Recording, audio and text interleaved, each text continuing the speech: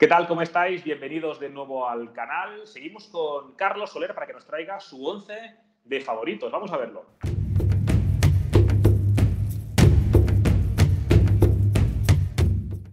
¿Qué tal, Carlos? ¿Has podido dormir esta noche preparando el, 11? Bueno, la verdad que me ha costado bastante. Me ha costado bastante porque hay muchas posiciones en las que hay muy buenos jugadores. y, bueno, mi equipo al final son jugadores de los que yo tengo uso de, razón desde que yo, desde que tengo 9, 10, 11 años, a partir de ahí eh, pues, está basado mi, mi 11. Y ponme, para empezar eh, uno o dos que te haya hecho especialmente daño o te haya dolido dejarlo, dejarlos fuera. Pero cuando uno hace un 11 hay algunos que dices, ¿Te lo digo antes de decirte el 11 o te lo digo cuando llegue a la posición? Venga, dímelo la posición. Va, perfecto, perfecto. ¿Qué, qué esquema me traes? Juego 4-3-3. Tengo un 4-3. Bajo palos. Eh, bueno, bajo palos eh, casillas, porque es, eh, de mi generación, al final es el portero de referencia español y hemos ganado Eurocopa, Mundial Eurocopa. creo que no hay mucho más que, mucho más que decir. Además, alguien con, una, con una, estrella especial, además, para, para, en momentos importantes. No sé si tú te acordarás de esa final de, Copa de Europa del, del, Madrid, en la cual él empieza de suplente, era César, que lo tenéis muy cerca ahora en Valencia, el titular eh, tiene que entrar Iker por circunstancias y el tipo saca dos paradas ahí. Dice que era un tío que era buenísimo, pero es que además tenía esa, esa estrella en momentos clave. Impresionante, Iker, claro que sí. Sí, yo lo, lo he puesto. Es verdad, esa, esa, final que me dices, yo creo que tengo dos o tres años. Entonces no, no, la recuerdo muy bien, pero sí que es verdad que esas paradas las recuerdo. Totalmente. Esa se lesiona, sale él, pero muy joven. Y bueno, la verdad que luego ganan eh, la, la Champions y a partir de ahí Casillas eh, mm. va a ser lo que, ha sido. Línea de cuatro. Luego tengo lateral derecho, tengo, he puesto a Dani Alves, mm. eh, porque lo recuerdo mucho de la época que estuvo en el Barcelona. Un atacante brutal, mejor atacante que defensor, pero, pero bueno, al final mi equipo tiene el balón, creo que va a tener el balón. Por el campo que tengo va a tener el balón. A ver, muy bien bueno, al final he elegido a Dani Alves porque es el que más, más, más me he fijado y, más me gusta. Totalmente un cañón, era un, era un eh, media punta vestido de lateral derecho totalmente. Pareja de centrales, a ver, ¿jugones los dos o, cómo? No, he puesto, he puesto Piqué Puyol.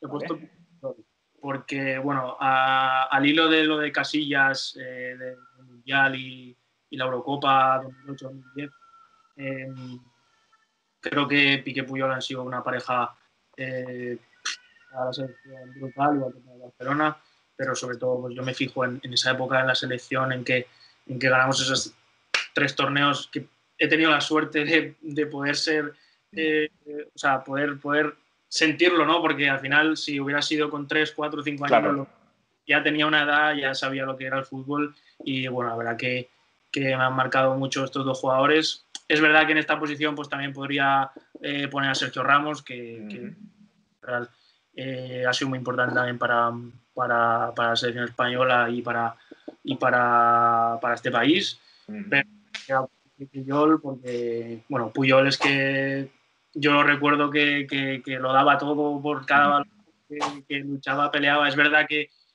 pues con balón no es lo mismo que Piqué, pero, pero bueno, eh, la verdad que Puyol central que, me gustaba mucho por esa garra que, tenía. ¿Y qué, y qué, gran virtud es, Carlos, cuando se habla de talento, para mí el, principal talento es saber eh, cuáles son mis virtudes, cuáles son mis defectos y actuar. O sea, más talento que ese no, no existe. Y Puyol seguramente que el tipo no descansaba ni durmiendo, es que además de lo, del, carácter y garra que dices, es que tenía todo el mundo enfilado, ¿no? Y era imposible relajarte porque veías a Puyol ahí eh, dando instrucciones, por lo tanto, me, me, gusta. ¿Y en la izquierda, otro lateral largo también? En la izquierda he puesto a Jordi, Jordi Alba. Jordi Alba, pues bueno, al final estuvo aquí en el Valencia, eh, marchó al. Bueno, no sé si fue el, verano este que hizo la Eurocopa que, se salió. 2012. 2012. No sé si ya ahí había salido el Valencia o estaba a punto de salir al, al Barcelona. Pero bueno, eh, recuerdo esa Eurocopa muy bien. Eh, eh, recuerdo que, que, él venía jugando de banda izquierda y pasó y, se, recicló, ¿no? Como muchos extremos han hecho, al final han jugado de laterales y la verdad que, que, Jordi lo ha hecho, lo ha hecho muy bien. Eh, luego también, pues personalmente, eh, alguna vez, una vez que tuve la oportunidad de ir con, con la selección, pues me trató muy bien. Mm. Muy buena persona y, y bueno, eh, futbolísticamente, pues sí, ¿qué te voy a decir? Me has prometido un centro de campo muy jugón, con, con, tres en el centro del campo, no me, no me defraudes ahora. ¿eh? Demasiado, demasiado. Aquí es donde, aquí es donde bueno, bueno. he sacrificado a, una, a un jugador muy importante. He puesto, delante de la defensa he puesto a Pirlo. Eh, bueno, al final Pirlo eh, a mí me encanta por, por, la elegancia que tenía jugando, eh, jugaba muy tranquilo. Eh, entre, este es uno de los jugadores que yo de pequeño, bueno, de pequeño, cuando tenía 15, 16 años que empezaba a jugar en el medio, me veía en YouTube. es un jugador del que, del que intenta aprender muchísimo. esa pausa que que tiene para desplazamientos largos, no sé, eh, la verdad que... Y yo, lo, y yo lo cogí ya mayor, realmente. La verdad que, Pirlo pues eh, eh, lleva, lleva, mucho tiempo ya jugando, pero recuerdo, creo que fue la Eurocopa 2012 que llegaron a la final. En España. Ya era mayor, un poquito mayor, que ya era casi su último torneo así importante, que hizo un torneazo, el gol este de contra Alemania, la tranquilidad que hay que tener para hacer eso es, es increíble. Sí, espectacular. ¿Interiores? Espera, ahí, ahí he sacrificado a Busquets. Vale. Porque, eh, bueno, es verdad que Busquets es un perfil más defensivo que, Pirlo y quizá podría entrar ahí, pero bueno, me he cantado por Pirlo por, por, sacar un poco. Estaba metiendo mucho, muchos españoles para Muy bien. sacar un poco. Para variar, interiores. Interiores he puesto dos españoles, he puesto Iniesta y Silva. Eh, al final, bueno, eh, Iniesta tiene que estar sí o sí por, por, todo lo que representa para todos, por lo que ha sido, por lo que es, eh, lo buena persona que no lo conozco personalmente, pero vamos, toda la gente que, que lo conoce y que habla de él se sabe cómo es, sencillo, de, de pueblo, súper tranquilo.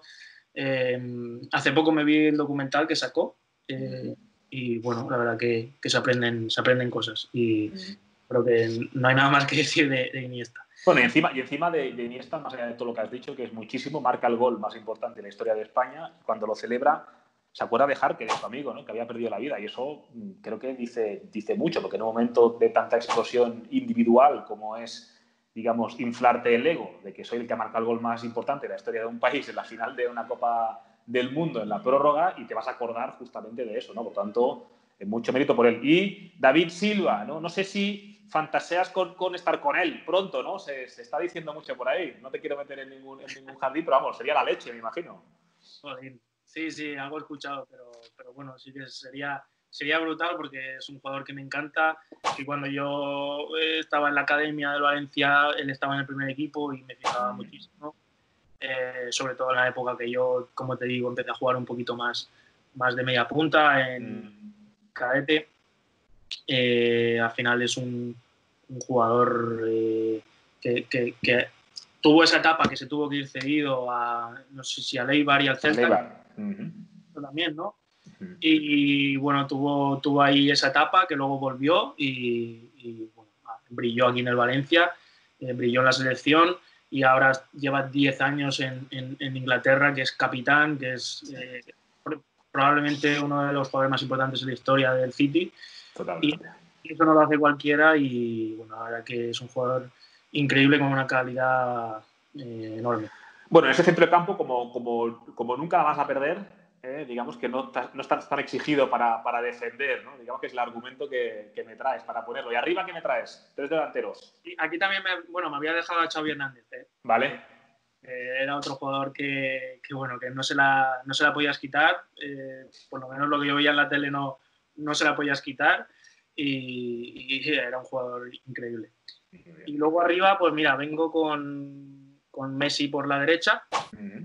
Creo que lo que yo he visto, para mí es el mejor jugador que yo he visto, mm. por la tele, como jugando contra él, como, vamos, eh, creo que es el mejor jugador que yo he visto y, creo que no hay nada más que comentar de Leo.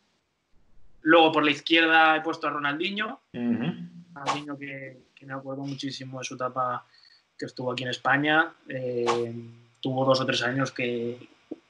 Volaba, ¿eh? Creo que era el mejor jugador del mundo, balón de oro. Eh, bueno, la verdad que además con esa sonrisa que siempre tenía, que le daba igual todo, parecía que le daba un poco todo igual. Y además que el tío, el tío conseguía eh, ser efectivo y dar, o sea, lo que hacía, lo hacía por el bien del espectáculo, es decir, nunca sabías, así como Messi, que estoy de acuerdo contigo, más o menos tú ya intuyes qué es lo que va a hacer, pero te la clava igual, porque es que no hay manera de frenarle, es que Ronaldinho tiraba tres sombreros, pasaba por detrás, te hacía la espaldilla en el medio del campo, pero todo eso lo hacía como, como recurso, ¿no? Y especialmente tanto en Liga como en Champions, grandes exhibiciones del, del brasileño. Lástima, ¿no? De otros eh, cuestiones ¿no? que no le han dado seguramente más años en, el, en la élite. Y en punta de ataque, Killer. El, Killer he puesto a David Villa. David Villa, bueno, al final es el jugador más referencia que yo he tenido desde que empecé a jugar a fútbol. El año que yo entré en el Valencia, él entraba, él, fue fichado por el Valencia a Zaragoza y bueno, al final es, eh, eh, en el Valencia fue increíble, metió muchísimos goles, eh, esa pillería que tenía para no caer fuera de juego. La verdad que yo también me fijaba, es uno de los que también me veía vídeos en, en YouTube para aprender. Me, me, fijaba muchísimo en él. En la selección, todo lo que ha hecho, máximo volador de la historia nacional. en el Barça ganó la Champions luego fue al Atlético de Madrid, ganó la Liga. Bueno, al final se ha ido, se fue a, Estados Unidos y seguía metiendo goles. Sí, sí. sí.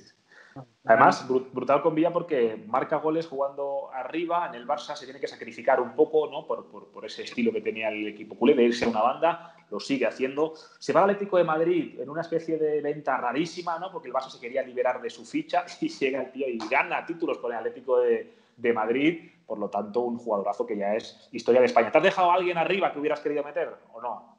¿Os tenías claros estos? Bueno, no, Villa era claro, sí o sí, porque, porque sí, porque tenía que sí. Por, aparte de, de, lo que yo eh, he podido sentir hacia él por, por, por, todos los años que ha estado en el Valencia y todo lo que ha dado al Valencia, bueno, también eh, personalmente estuve en Nueva York viendo un partido suyo y, hablando con él y la verdad que muy buena persona y muy, muy, muy cordial y, muy buena persona y tenía que estar. Eh, y luego, precisamente por los méritos que, ha tenido, que son muchísimos. Y sí que es verdad que, bueno, eh, quizá los dos que me he podido dejar eh, en el medio campo como interior, podía haber puesto a Kaká, porque recuerdo sus dos, dos, tres años de recuerdos suyos en el Milán, increíbles que fue balón de oro, creo recordar. Sí. Y luego es verdad que luego fichó por el Madrid, tuvo pues, problemas de lesiones y tal que no le permitieron ser lo que, lo que era, pero, pero me parecía un jugador de una potencia increíble cuando la zancada que tenía era brutal. Eh, luego también, pues bueno, Cristiano Ronaldo al final eh, me, he tenido que dejar, me lo he tenido que dejar fuera. Creo que tengo en la, a Messi y a Ronaldinho que son fantasía, o es otra cosa y creo que poco más. Creo que. Ni tan mal, ni tan mal el 11 de favoritos de Carlos Solero. Oye, Carlos, pues muchas gracias por tu tiempo, gracias también por, por amenizar un poco, por, por aparecer en, eh, iniciativas solidarias, eh, en situaciones tan, tan complicadas, ya sea a través de, de videojuegos, ya sea en campañas ¿no? para, para, intentar hacer más ameno este tiempo. Así que se agradece también que gente que no tiene por qué hacerlo lo haga. Así que un fuerte abrazo, gracias por todo y mucho éxito de cara a este tramo final, si es que, como parece, se acaba finiquitando la temporada. Muchas gracias. Un abrazo. Un abrazo. Vosotros ya sabéis, suscripción, campanita y cualquier comentario, eh, siempre de buen rollo. O si queréis apretar un poco a Carlos Soler, lo comentáis en la cajita de comentarios con respecto a su once. Un abrazo.